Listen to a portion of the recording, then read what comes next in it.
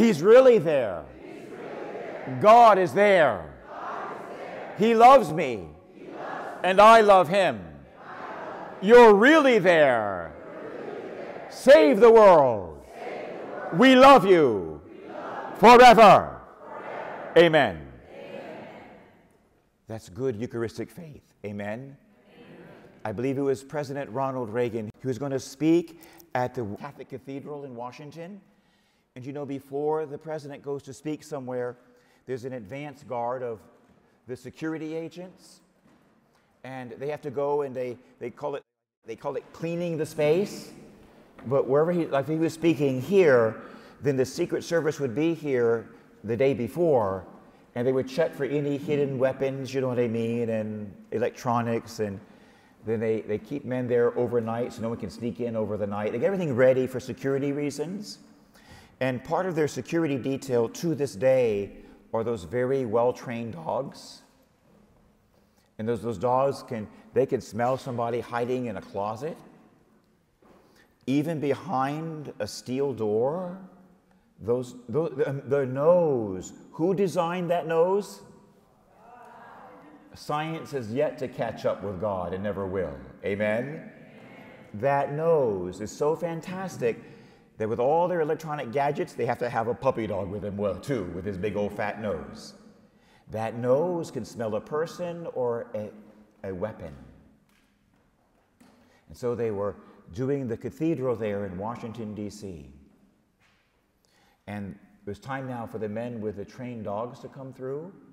And if anybody is hiding or any weapons are hiding, the dog can sniff it and starts barking and making a, a trained noise. They know exact. They found several people that way over the years, and guns and bombs. And so they, they always do that. And this time, the, the whole job of the sweep was almost done. And the man, the Secret Service man with the number one dog, went up to the sanctuary around the altar. Everything was clear. The Monsignor was watching.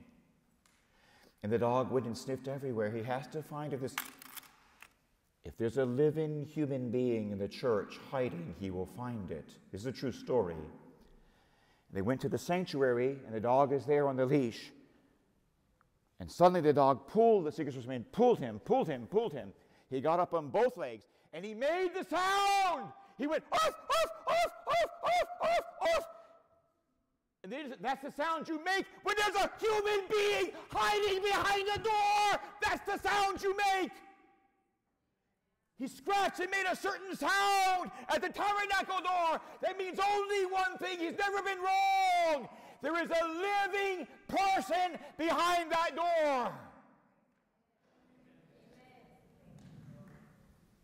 My God. And the Secret Service man said, Father, Monsignor, Who's hiding there? What's in there? You need to open the door. He said, Sir, we Catholics call that the Eucharist. It's the body and blood of the God man, Jesus Christ. Your Savior is there. And he had to open it anyway. And the Secret, Secret Service man saw his God for the first time in his life. He opened the door and saw the Eucharist. Someone told me that he became Catholic, that agent. I don't know, but I wouldn't be surprised. That's a true story. Even dogs know he's there. Do you know he's there? Amen? Amen. Hallelujah.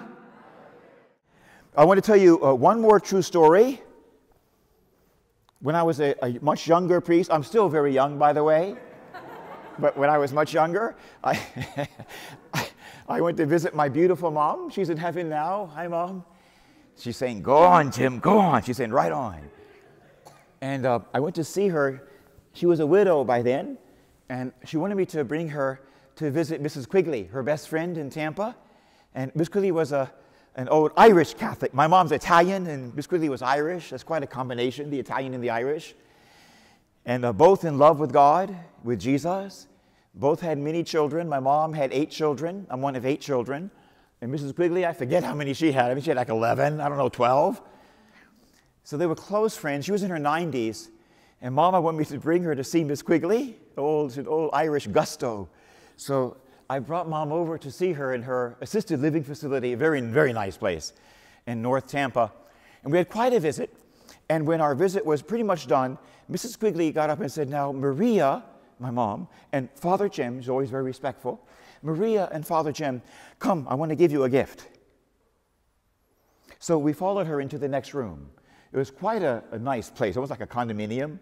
We went to the next room, and she took out this big, big, flat white box. It was like maybe two inches high, and then it was like a square, but like almost two feet by two feet square. So it was a big, square, flat box. And Miss Quigley, she was a great supporter of the Catholic Church and the Vatican. Her husband was a retired colonel, and they were rather well to do. So every year they would go to Rome to see the Pope, and he would give them a relic. They'd come with a letter from our bishop in Tampa, St. Petersburg. They'd have a letter from the bishop, and they'd bring it with them. So after the Pope would bless them, either he would give them a relic or he would lead them, point them to the office. There's a special office there. They would go to the office and get a first class relic, like of St. Louis de Montfort, you know what I mean? Of these great saints. So she had a box full of first class relics. And she said, Maria and Father Jim, you each take one. It's, I want to say thank you to you. And it was very bittersweet because I know she was saying goodbye to us. And I knew that you could tell. But you know, we're Catholics. We are people of the resurrection. We are people who live forever. We live forever. I saw my dad once in heaven. He came down to me at Mass. I saw him 3D in front of me. We live, we live forever. Amen? Amen? The day my dad died, I said Mass in his ICU room. He couldn't eat anything more, but as a Catholic priest, I have permission to give my dad the precious blood with my finger because my hands are consecrated. So my beautiful dad, he's, he's on his last breath, but I took my finger in the chalice and the precious blood. I said, Daddy, I'm giving you Jesus. Dad.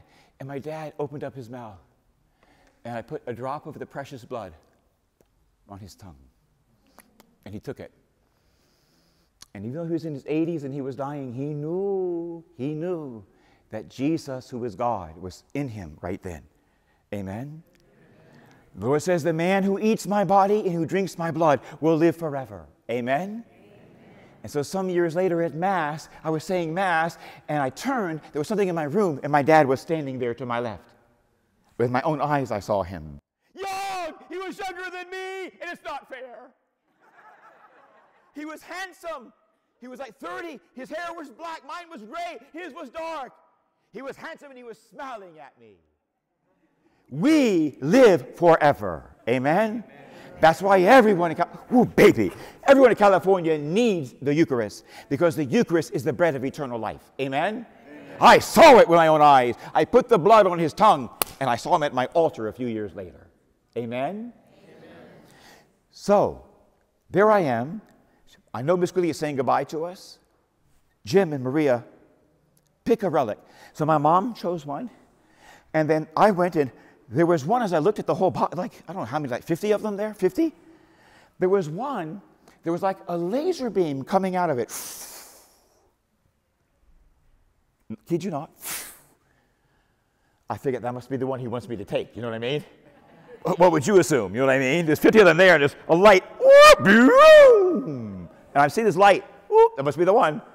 And I took it, and it's St. Camillus, a bone. His feast day is my birthday, July the 18th. How in the world did that happen? He's a Catholic priest with a healing ministry, and I'm a Catholic priest with a healing ministry. He was in the military, I was in the military. And his birthday, his feast day is my birthday. Mamma mia. Do we have a great God or do we have a great God? You don't know how great He is. But tell Him, when I was your age, I said to God years ago, Show me your greatness. Ask Him, I challenge you today, especially the young guys, tell Him, say, Show me your greatness. Show it to me. I promise you, He will reveal Himself to you in ways that will knock your socks off.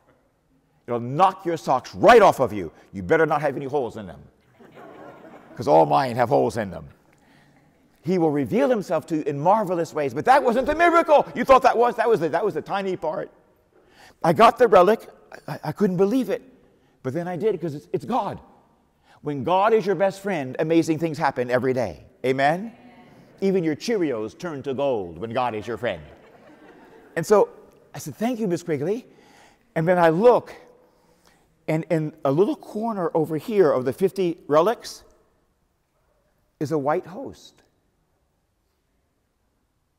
And I say that uh, to my shame, to my horror, was a, a host from Mass, a white a host.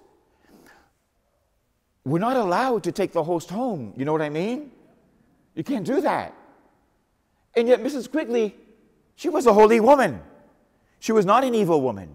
She would never do that. So I was in a quandary. I felt like St. Joseph when the Virgin Mary was pregnant. He didn't know what to do because he knows, he knows she's a holy woman. She would never, she didn't sin. He knew she didn't sin, but he couldn't explain it.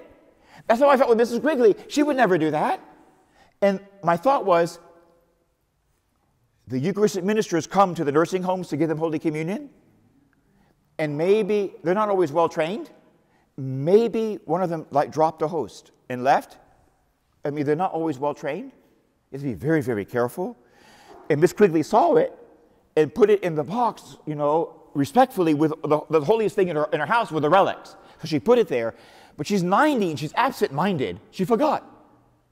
That's all I could think of. She would never do something evil because that's actually called blasphemy or sacrilege, you see. I knew she wouldn't do it. I thought, oh, what do I do?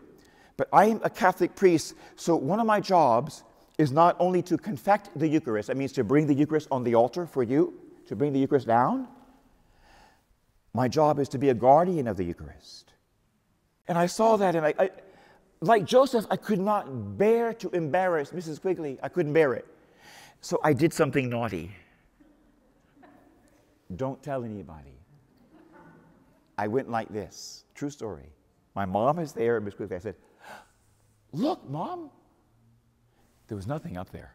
But mom looked up, and Mrs. Quigley looked up, and I took the host and put it in my mouth. I couldn't, I couldn't bear to embarrass her. If she saw, if I showed it to her, she would probably start crying. I couldn't bear the thought. She was a holy woman on her, she's dying.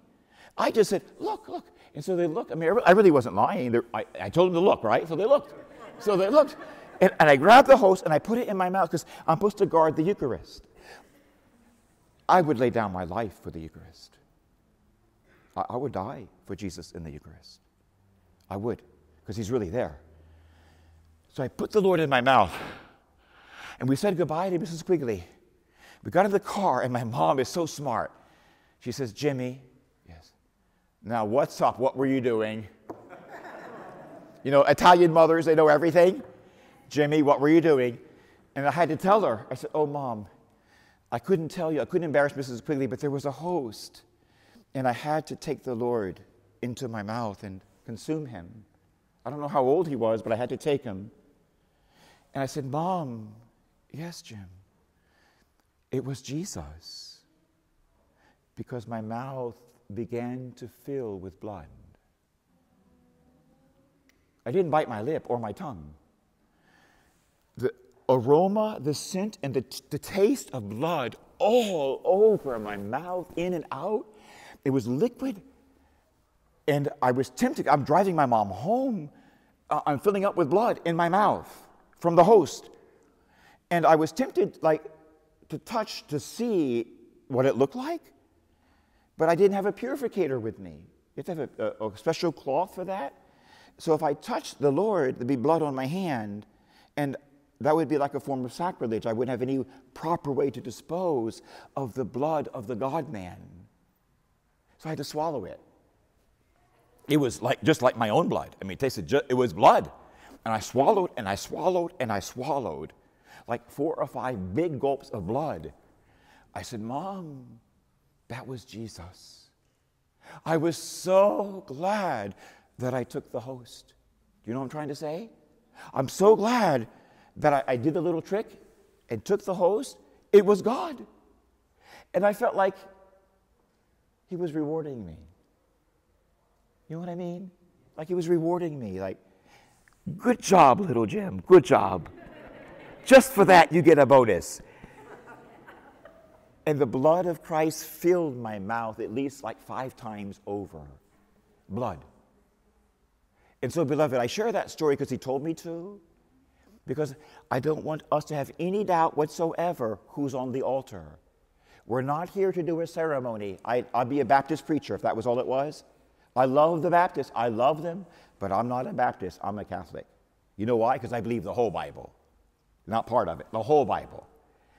Beloved, the whole world will be Catholic one day, which means the whole world will be Eucharistic, which means everyone, including even the atheists and the agnostics, they will taste the Lord and know He's there.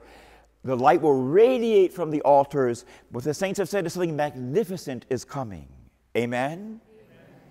Let's pray that all of California and the whole world will fall in love with God in the Eucharist. Amen? No more doubts, no more faithlessness, that we will know beyond a shadow of a doubt. Imagine the whole world, there'll be Mass seven days a week, adoration in every Catholic church 24 hours a day. The whole world will be Eucharistic. Amen? It's time for the doubts to stop and for everyone to believe and to love, to believe in God and to love His Son. Amen? The Eucharist is not just another thing, the Eucharist is everything. Amen? It's not another thing, it's everything. It's the center of the wheel, it's the center of your life. If you let Him, you will become saints. Amen? Amen. It is the bread of saints.